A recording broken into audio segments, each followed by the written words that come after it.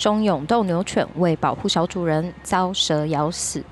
一只忠犬为了保护主人的两个小孩，遭毒蛇攻击丧命。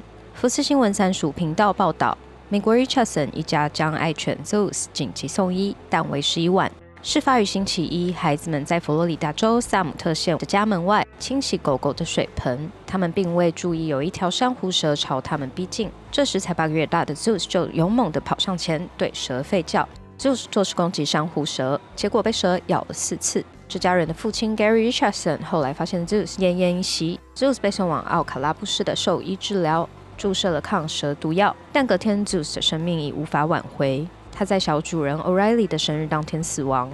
Zeus 从一月诞生起就已是 Richardson 这一家人的一份子，跟全家都很亲密。女主人 Gina Richardson 表示，她很感激 Zeus，因为若没有他在场，她可能就失去一个孩子了。